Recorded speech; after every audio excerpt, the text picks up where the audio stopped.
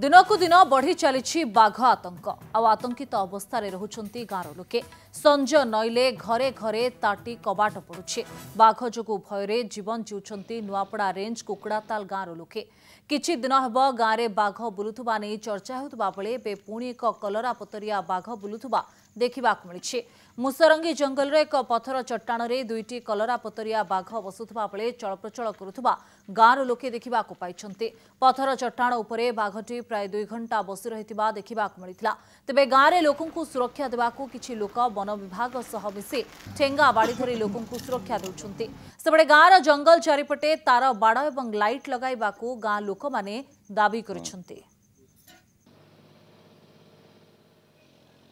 ବହୁତ ଭୟ ଲାଗୁଛି ଯେ ସାଞ୍ଜ ହେଲେ ଆମେ ସବେ ଆମର ଗାଁର ଯେନ୍ ଲୋକମାନେ ଅଛେ ସବେ ଭୟଭୀତ ହେଇକରି ଘରେ टाटी खेपा देकर भितर रोचन आम जेन जुवक मैंने सांग मैंने अच्छा से बाहर ठेगा बाड़ी धरिक बाहर बस जगुच हाँ सर का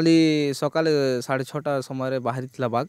आम देखलु वन विभाग के सागे सागे इनफर्मेसन करूँ सर आज भी अपराह दुईटार टी आवाज कर सर सर इन लोक मैंने बहुत भयभीत अच्छन সন্ধ্যা ছটা সময় পুরা কবাটটি পুরা বন্ধ করি ভিতরে পশি লোক মানে ছুয়া পিলা মানে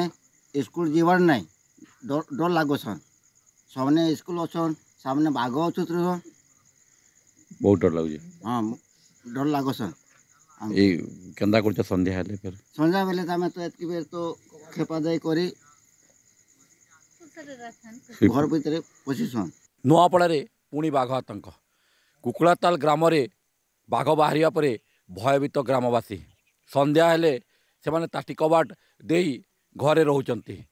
ବନ ବିଭାଗ ଏବଂ ଗ୍ରାମର କିଛି ଯୁବକ ବାଡ଼ି ଠେଙ୍ଗା ଧରି ଗାଁରେ ପହଁରା ଦେଉଛନ୍ତି ଯୁବକ ଏବଂ ଗ୍ରାମବାସୀଙ୍କର ଦାବି ଅଛି ଗାଁରେ ଶୀଘ୍ର ତାର ବାଡ଼ ଲଗାଯାଇ ଲାଇଟ୍ର ବ୍ୟବସ୍ଥା କରାଯାଉ ନୂଆପଡ଼ାରୁ ବିଭୁ ଦତ୍ତଗୁରୁ କନେକ୍ଟ ନ୍ୟୁଜ୍